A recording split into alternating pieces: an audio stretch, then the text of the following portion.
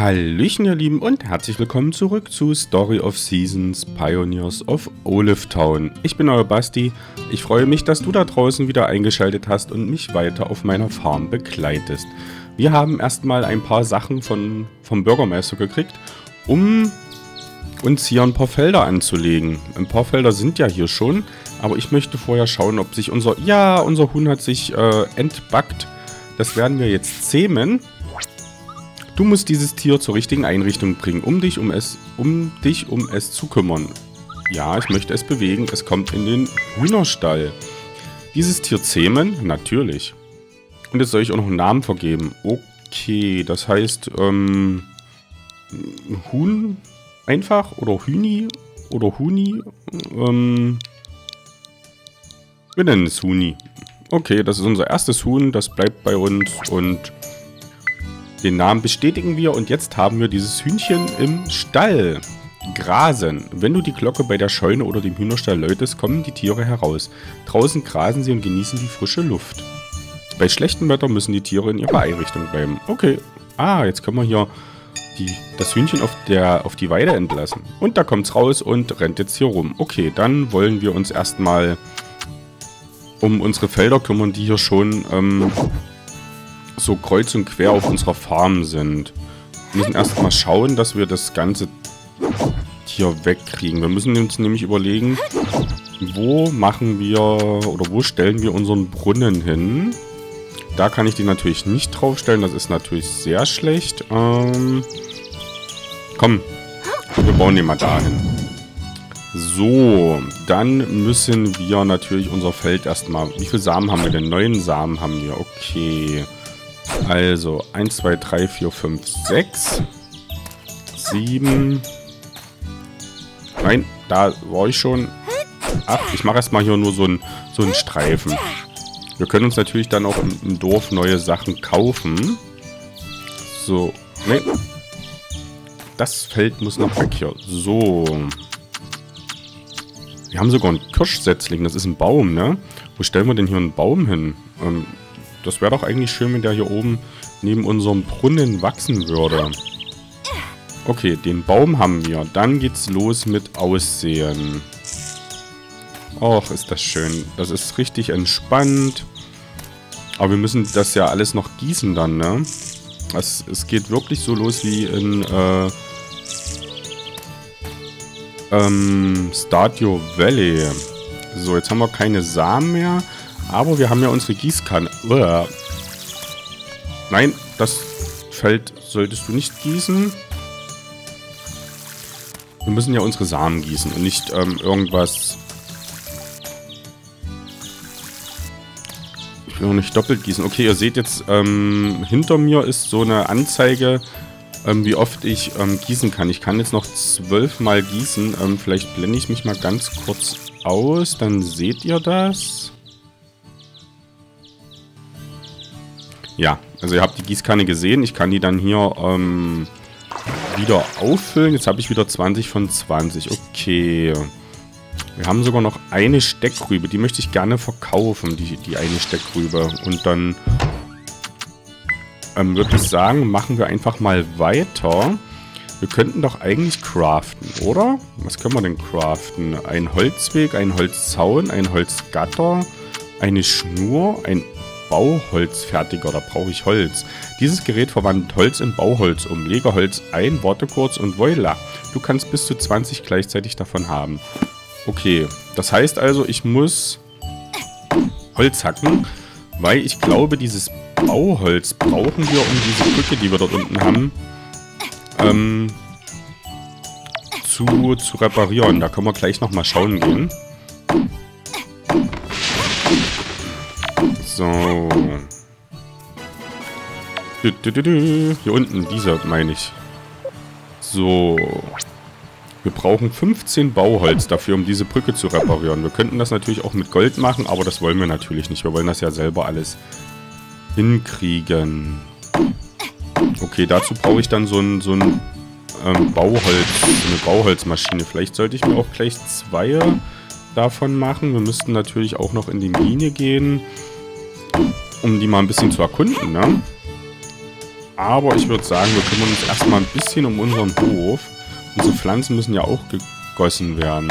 Und wenn wir dann ähm, das soweit alles fertig haben, dann gehen wir auch mal in die Stadt und schauen. Hier habe ich, hier kann ich noch was ernten. Was ist das denn hier? Oregano und ein Königsfahren. Okay. Aber ich brauche auf jeden Fall erstmal Holz. Die Sachen, die ich hier finde, die werde ich auf jeden Fall verkaufen. Das gibt immer Geld. Auch der, das, das Harz gibt Geld. Ich muss mal schauen, wie viel Holz habe ich denn? 36. Da müsste ich doch eigentlich schon so ein Ding bauen können. Ja. Okay, Bauholzfertiger. Wir werden das jetzt mal... Ah, 20 brauche ich. Ich werde mir am besten gleich mal zwei herstellen. Dazu werde ich jetzt noch einen Baum hacken. Weil Bauholz ist immer eine feine Sache. Damit ähm, können wir im Prinzip verschiedene Sachen auch bauen. So, wie viel habe ich denn jetzt hier? Ich habe 39. Es reicht noch nicht ganz, weil ich glaube, ich brauche äh, ich brauche 40 dafür. Weil 20 kostet ein, ein so ein Ding. So, jetzt müssten wir das eigentlich haben. Hier können wir noch was ernten und verkaufen. So, dann wollen wir mal schauen. Ähm, wir müssten eigentlich zwei herstellen können jetzt hier. 20. Dann habe ich noch 22. Na gut, dann ähm, machen wir erstmal ein. Okay, Fertiger benutzen. Nachdem du einen Fertiger hergestellt hast, kannst du ihn auf deinem Hof platzieren. Lege einen Gegenstand ein, warte kurz und bumm, fertig. Okay, ich mache mir aber gleich noch einen. Weil ich brauche ja Bauholz. So, jetzt habe ich zwei von diesen Dingern. Jetzt, ich würde sagen, die packen wir hier oben hin. Warum kann ich denn die da nicht hinpacken? Hm. Na gut, dann machen wir einen dahin. Und einen gleich da runter. Und hier können wir jetzt Holz reinpacken, hineingeben. Okay, ich brauche drei Holz. Aha, drei Holz, um einen so ein Dings zu machen, um so ein Bauholz zu machen.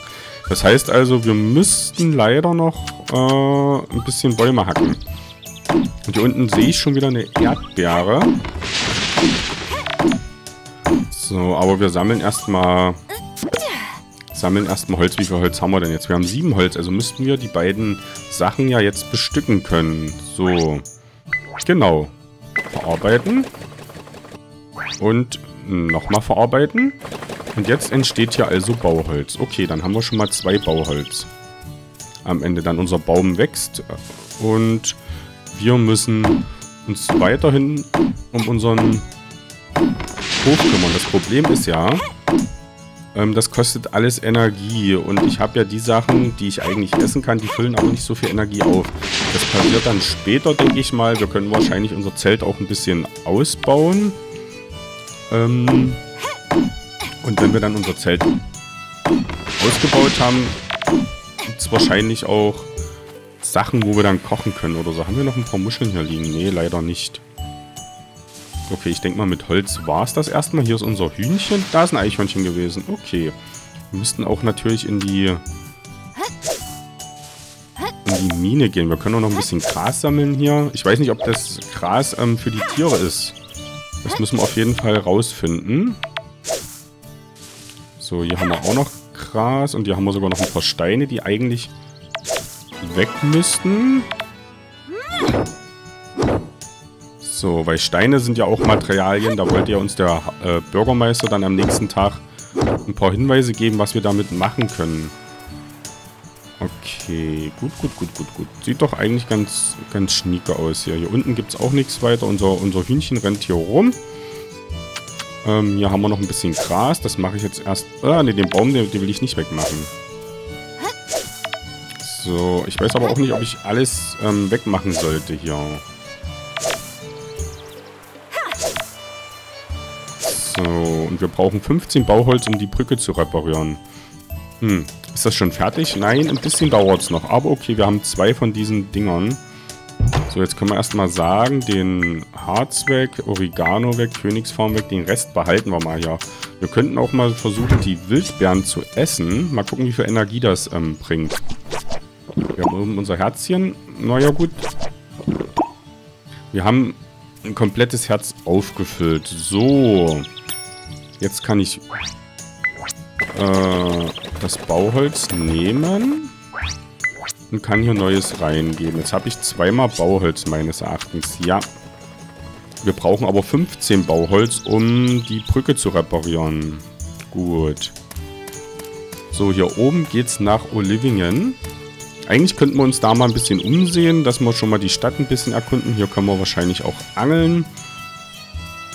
Ich würde sagen, wir gehen einfach mal nach Olivingen und schauen uns die Stadt ein bisschen genauer an.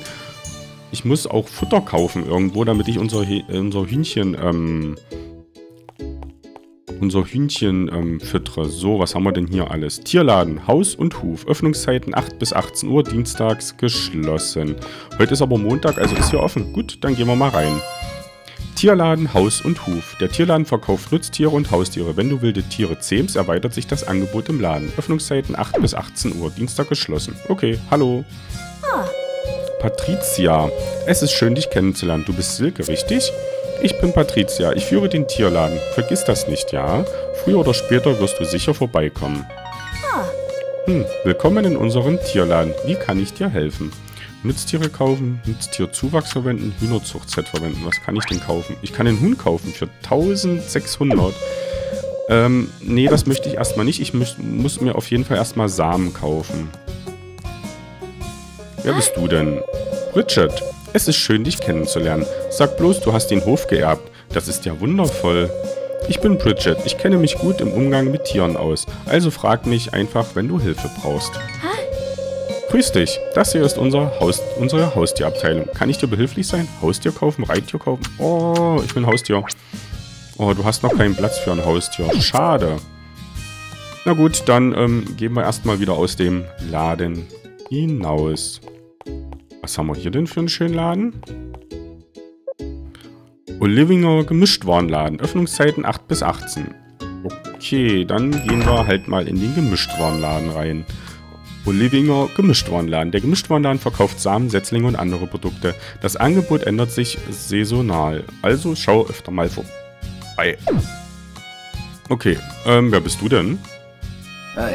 Hm, Jack, hallo, suchst du etwas Bestimmtes? Oh, du bist also Silke. Der Bürgermeister hat von dir erzählt. Ich bin Jack, dein freundlicher Ladenhüter vom Gemischtwarenladen. Okay, das ging nach hinten los. Ich bin Jack, nett dich kennenzulernen. Okay, alles klar. Und wer bist du?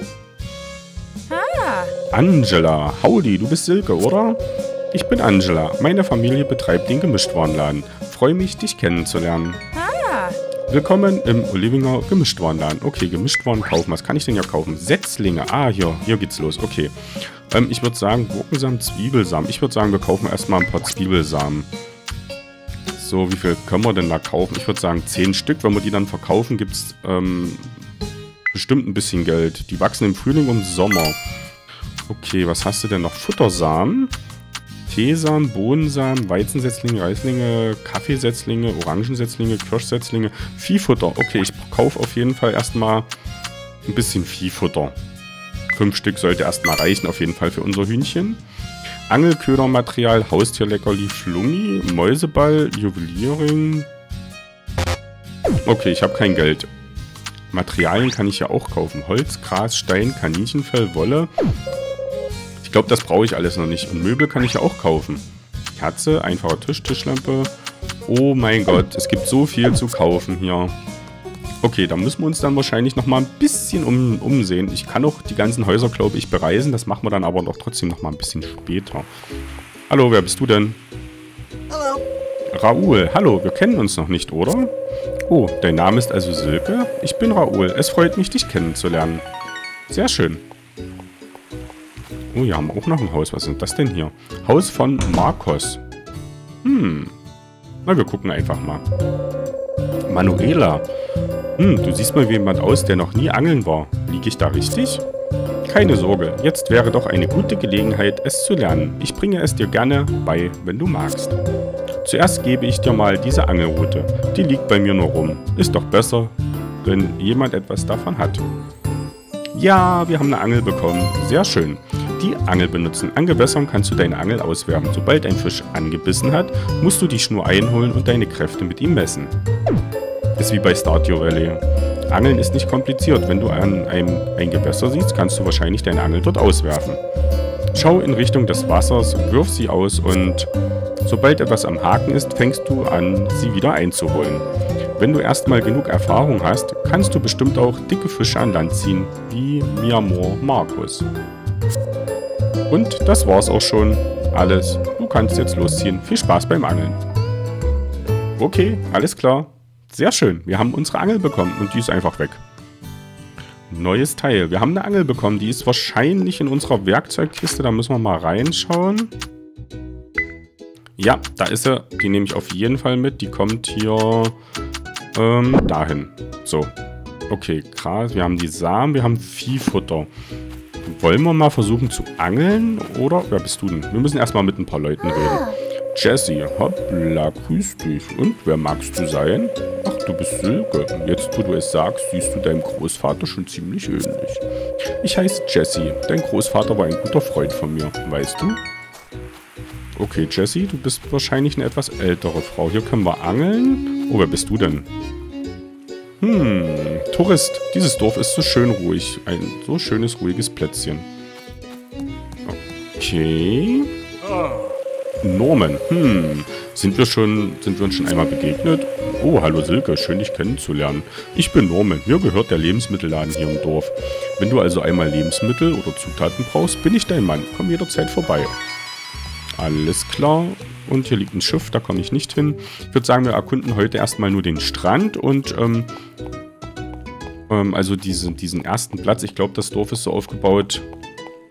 Ah, hier, hier kommt schon der nächste Laden, ne? Küstenbistro.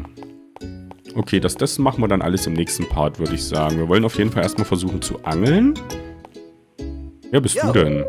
Emilio, bist du hier, um das Dorf, um dir das Dorf anzusehen? Ich kann dich rumführen, wenn du willst. Oh, du bist das Mädel mit dem Moped. Silke, stimmt's? Ich bin Emilio. Vergiss das bloß nicht, ja? Okay, ich vergesse das nicht. Alles klar. Für Reisen registrieren. Wenn du dich für eine Reise registrierst, besucht dein Avatar die Dörfer anderer Spieler. Wenn du die Kommunikationsfunktion aktivierst, können die Bauern und Bäuerinnen aus aller Welt besuchen. Postkarten verschicken. Wenn du eine Postkarte verschickst, kannst du deine Fotos mit Bauern und Bäuerinnen weltweit teilen. Wenn du die Kommunikationsfunktion einschaltest, werden dir die Fotos von anderen am Ladebildschirm angezeigt. Laura, wenn du Infos über Living suchst, dann bist du bei mir genau richtig. Moment, du bist Silke. Der Bürgermeister hat mir von dir erzählt. Ich bin Laura, die Fremdenführerin hier im Ort. Ich finde, es gibt keine dummen Fragen, also schieß los, wenn du irgendetwas wissen möchtest.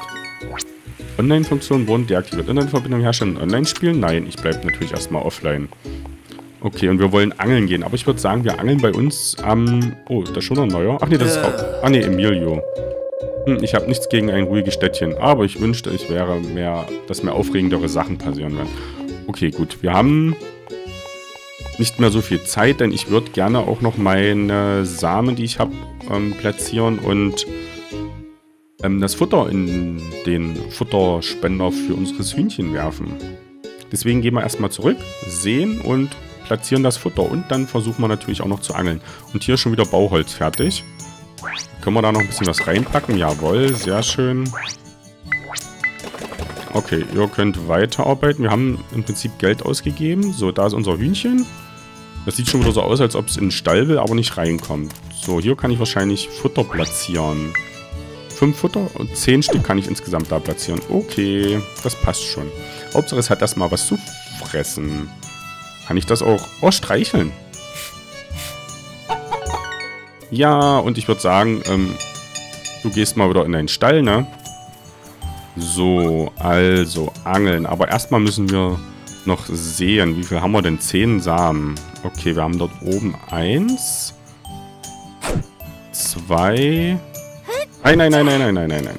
Eins, zwei, drei, vier, fünf, sechs, sieben, acht, neun. Ah, und ich brauche noch ein einzelnes Feld. Naja, gut, mache ich zehn, mache ich das hier hin.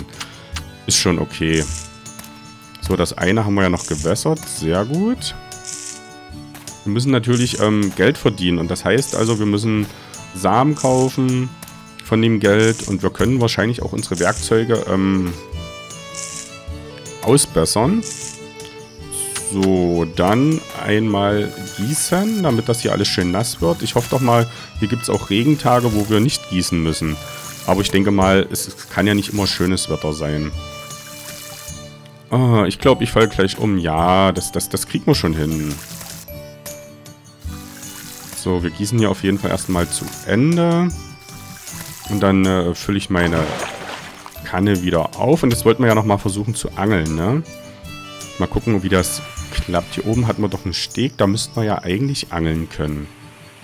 So, angeln mit Y. Na, dann wollen wir mal. Mit Y ziehen wir wieder.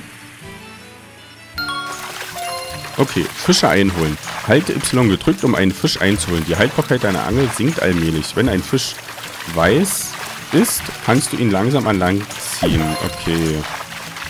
Rote Fische sind wütend und kosten dich Haltbarkeit. Also lass in diesem Fall Y wieder los. Blaue Fische sind müde und können leichter eingeholt werden. Okay. Okay, blaue Fische sind müde.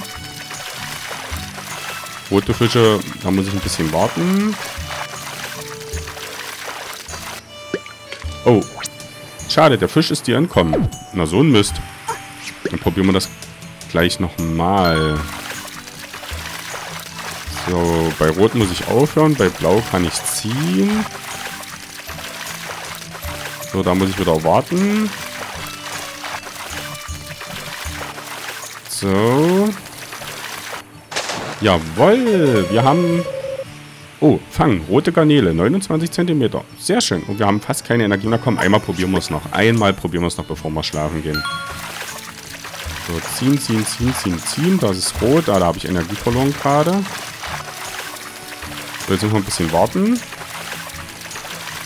Der ist erschöpft. So, jetzt wackelt er gleich wieder. Sehr gut. Und jetzt ist er erschöpft. Jetzt kann man einziehen. Jawoll. Gazami-Krabbe, 14 cm. Oh, cool. Die kann ich auf jeden Fall verkaufen. Aber ich habe keine Energie mehr, deswegen muss ich die Sachen ganz schnell verkaufen hier. So, also das weg, das weg. Diesmal gibt es wahrscheinlich nicht so viel Geld. Und ich kann noch einmal ähm, Holz hier reingeben. Aber mir fehlt noch ein bisschen Holz. Kriege ich das vielleicht sogar noch hin, dass ich noch einen Baum fällen kann? Mal gucken, ob wir noch einen Baum äh, gefällt kriegen, damit wir das Holz da... Ja, das hat auf jeden Fall noch geklappt. Sehr gut, ich habe noch drei Stämme. Dann kann ich die auf jeden Fall hier oben noch... Hallo? Dann kann ich die hier oben noch reinpacken. Dann verarbeitet das. Den, ähm, das Harz kann ich noch verkaufen. Und dann würde ich sagen, gehen wir schlafen. Und der nächste Tag kann anbrechen. So, schlafen gehen müsste ja eigentlich der Bürgermeister wiederkommen und wollte uns was über Holz und Steine erzählen. So habe ich das noch ein bisschen in Erinnerung, denke ich mal, ne?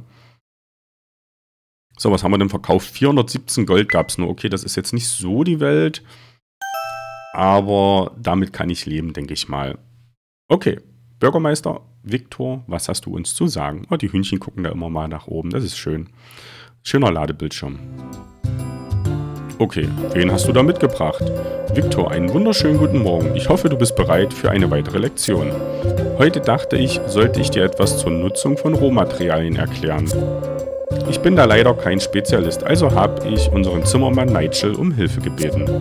Hi Silke, ich bin auf Häuser und Möbel spezialisiert, aber ich kann dir auch das eine oder andere zu Materialien beibringen. Hast du schon Holz und Steine eingesammelt? Wenn du aus dem Rohmaterial, wenn du aus wenn du aus denen Rohmaterial machst, kannst du sie für vieles nutzen. Zum Beispiel kannst du einen Zaun für deine Tiere daraus machen. Kann man auf einem Bauernhof schon gut brauchen, was?